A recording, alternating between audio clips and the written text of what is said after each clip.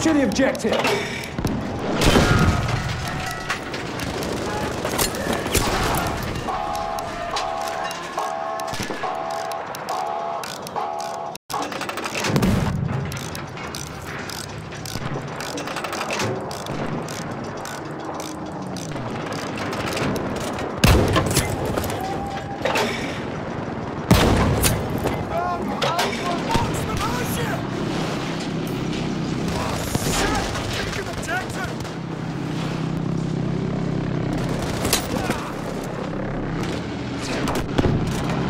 Yeah, we gotta defend the objective.